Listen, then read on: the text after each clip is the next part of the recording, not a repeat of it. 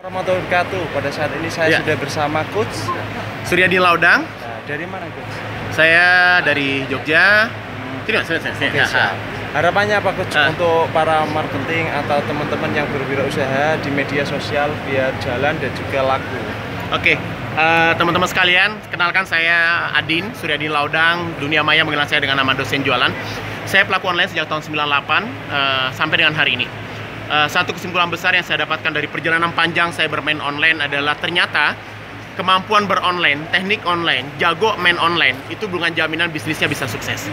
Jadi eh, skill jualan online dibutuhkan, tapi itu hanya sepersekian kecil ya, dari eh, ilmu bisnis dan ilmu eh, manajemen yang perlu kita pelajari.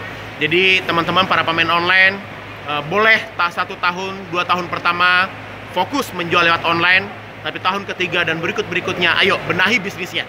Pastikan bahwa eh, pemasaran online Anda itu terus berkembang, berkembang, berkembang.